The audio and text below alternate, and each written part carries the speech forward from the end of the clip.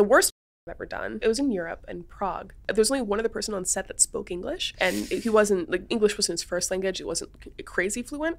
And what they wanted to do is do a girl girl scene first, and then do a like double like me and the other girl with a bunch of guys in it. When I got to set, it was just not what I was used to in terms of shooting standards. Mm. I'm used to people like coming up and being like, "So what kind of loop do you prefer?" And like, "Do you need extra time to set yourself up and get yourself ready?" As soon as I got on set, they were like, "Okay, we're ready to go." And I was like, "Okay, where's the lube?" And they're like, "What? You need lube? We have Vaseline if you need it." And Vaseline? yeah, it was crazy.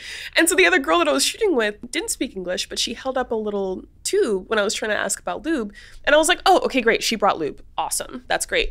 And once we actually started the scene and she was me, that's when I realized that it was numbing cream, which is terrible to use for scenes, especially extreme scenes, because you want to be able to feel what is happening to your body. You want to be able to feel fully if something is painful, if something is tearing, if something is uh, burning. So whenever you use numbing cream, people think like, oh, it's going to be great because it's not going to hurt and I can just keep going. But then if you get a tear, you, You will don't- keep going and keep making it worse. So I got a tear during that scene. I couldn't feel it at the time, but by the time we started the thing, it, the numbing cream was wearing off. And I still had to do double and that was not fun at all. I've had some highs and lows again. Wow. And so now I'm just terrified of tearing again.